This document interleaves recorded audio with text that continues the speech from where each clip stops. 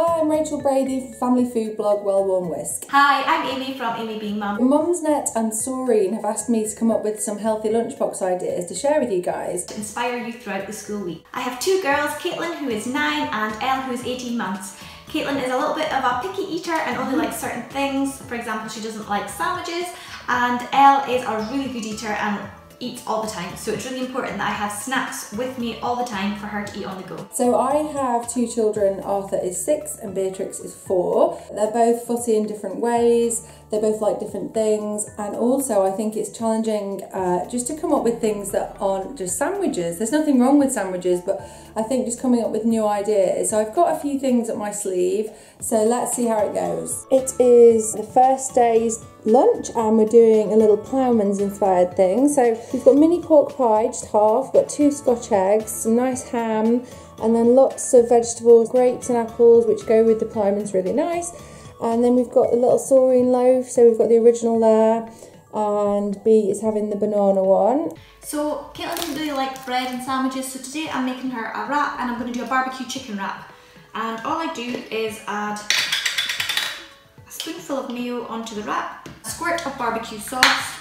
I just do it directly onto the wrap to save dirtying any dishes. Mix it together and you have a barbecue mayo as the base for your wrap. Then I just add chicken and some salad. And everyone folds their wraps differently, this is how I do mine. I fold at the bottom and the sides and again. And then everything's contained in the wrap. Caitlin loves getting messages in her packed lunchbox, so what I often do is um, wrap her lunch up in foil, keeping it nice and flat, and then I write a message on it with Sharpie pen. A Soreen banana loaf, a squeeze of yogurt so she doesn't need to take a spoon, piece of fruit, so today it's an apple, and Caitlin always takes her bottle of water with her. My top tip is to really plan leftovers, uh, double up so that whenever you're making something you can either have it for lunch or it's a leftover of a night's dinner. Mini muffin pizzas today which was last night's dinner and again some leftover corn on the cob and cucumber, Soreen to finish and some mango and of course some water.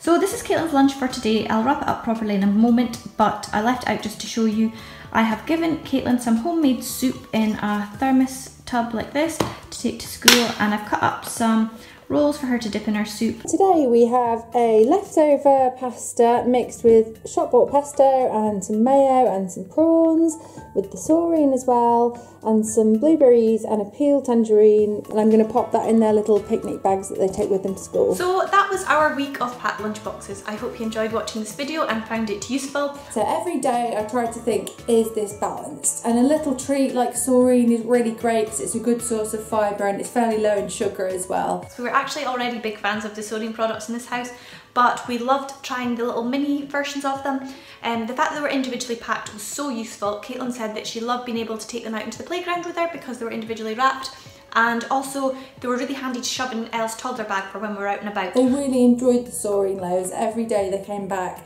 the boxes came back and there was a little Soreen wrapper in there so I knew that they enjoyed them. If you have any good ideas please pop them in the comments below I'd love to hear them and if you enjoyed this video give it a thumbs up. Thanks so much for watching and please do let us know your packed lunch tips in the comments below.